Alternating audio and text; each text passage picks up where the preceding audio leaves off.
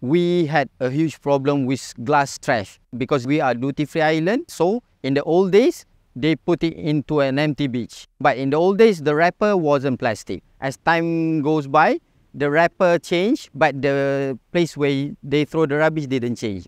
But when they realized that was a problem, then we have the incinerator and we did all the recycling, you know. Then Reef Chat and TMCG and Tioman, we got a glass crusher machine.